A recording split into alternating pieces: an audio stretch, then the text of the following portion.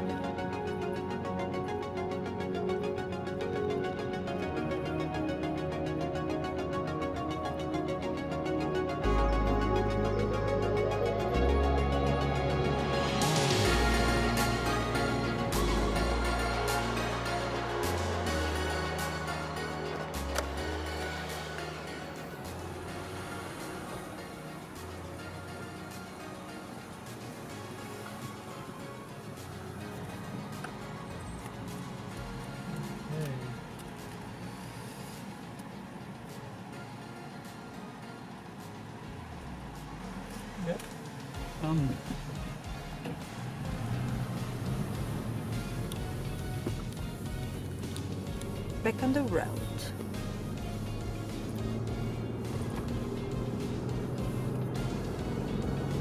Danes and their bridges.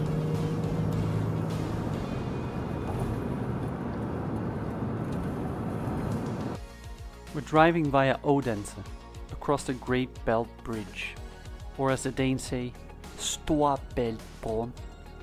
It's 18 kilometers long and links together the eastern and western parts of Denmark.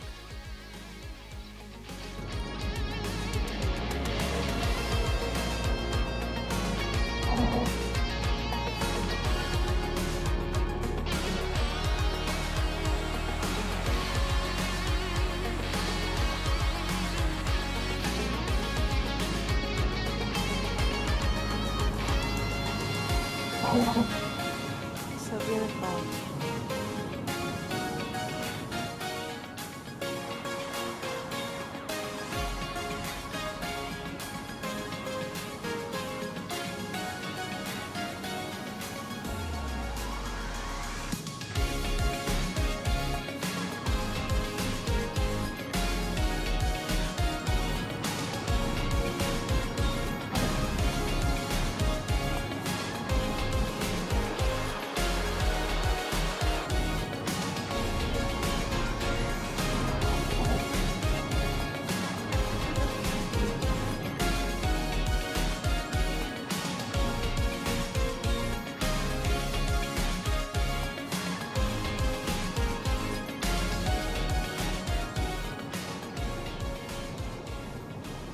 Little uh, mid-trip update here on uh, day two.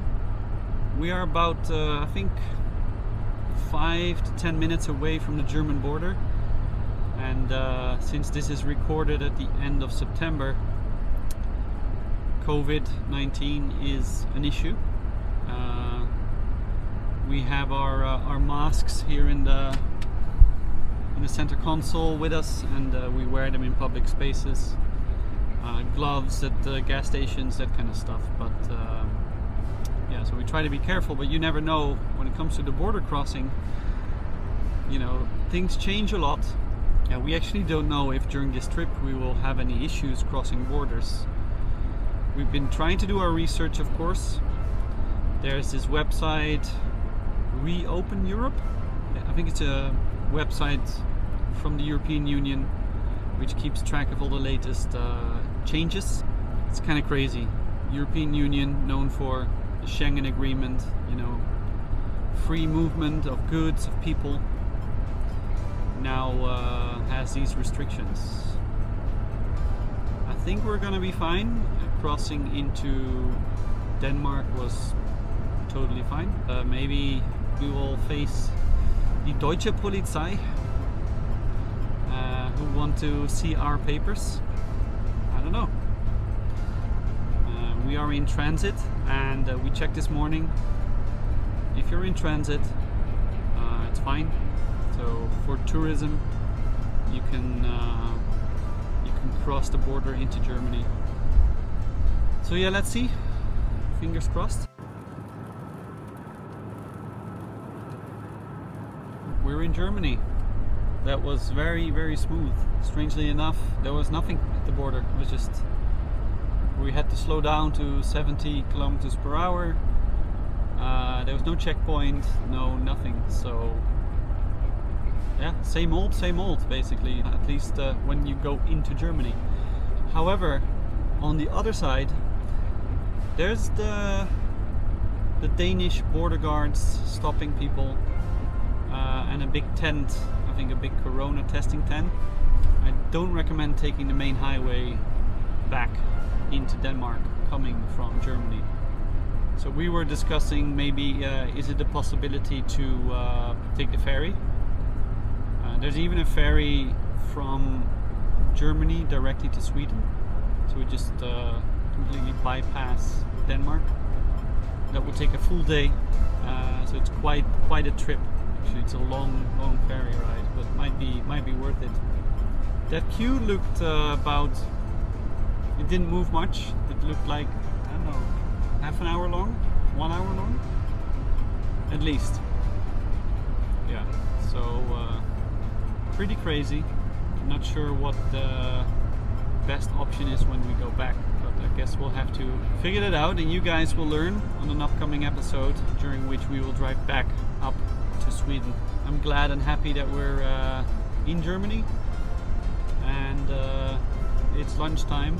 Gonna find a place to stop for a bite. See you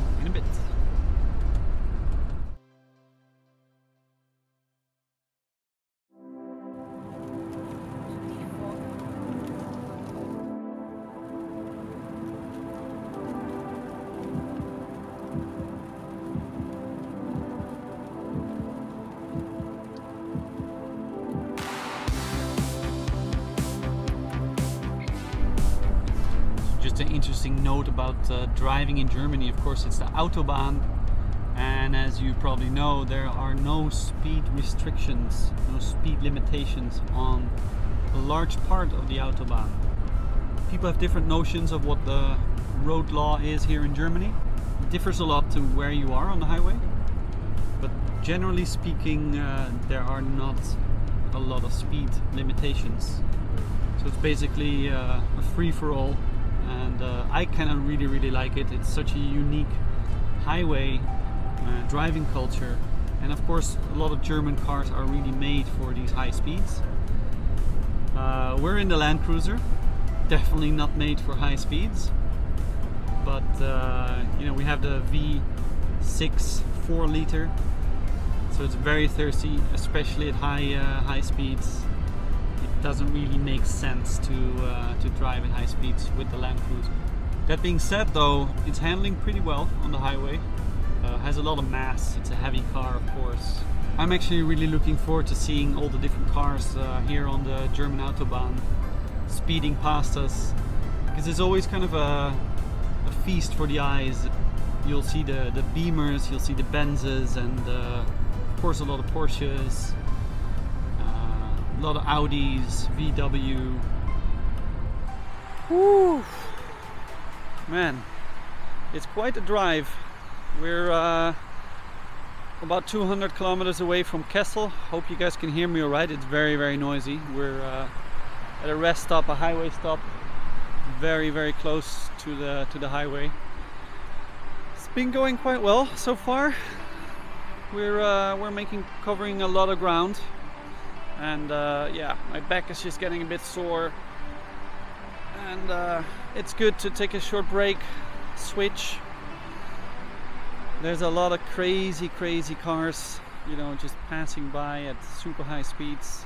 So that's the only thing that's a little bit like uh, getting used to. There's none of that in Sweden, but I mean that's the charm of the of the German autobahn. We have another 250 to go. We'll be staying at a hotel which has uh, underground parking, hopefully, so we can uh, we can park our uh, Land Cruiser in a safe spot. You know, it's filled with a lot of gear. All right, so uh, I think we're gonna go there now in one stretch, in one go. I'm still getting used to a little bit to the to the whole vlogging thing. There's a lot of people looking at you like, who's that guy?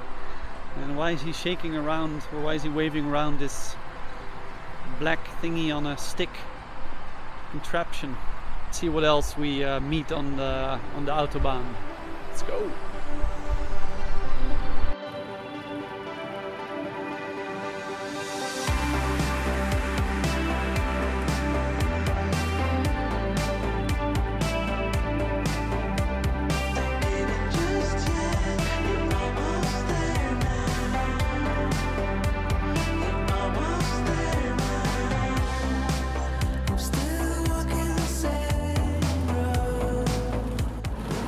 Out, construction on road ahead.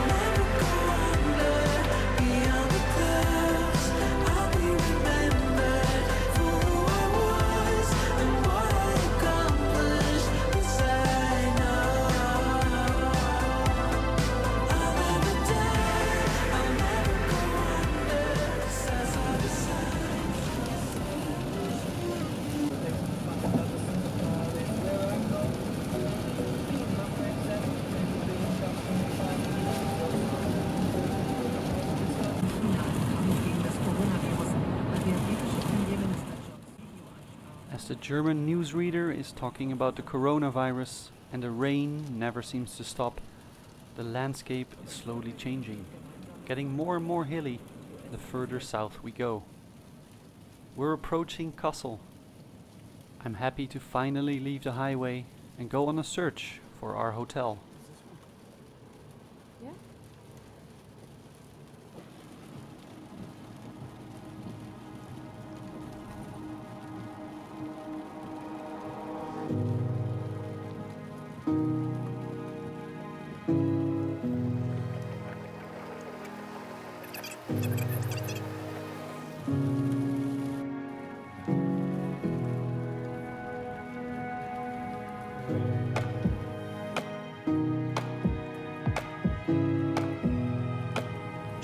On B3 Weserstrasse.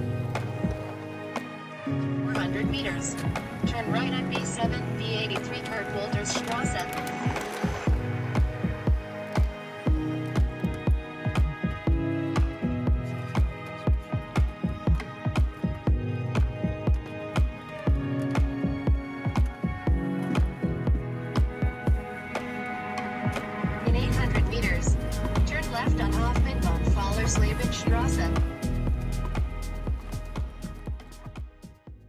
We arrived safe and sound in Kassel, Germany. We're uh, currently staying at a uh, Art Nouveau hotel.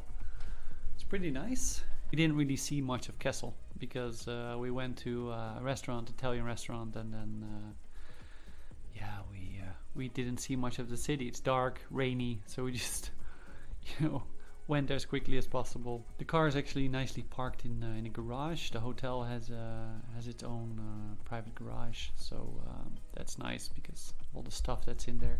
Uh, we're I think the only uh, international guest at this hotel.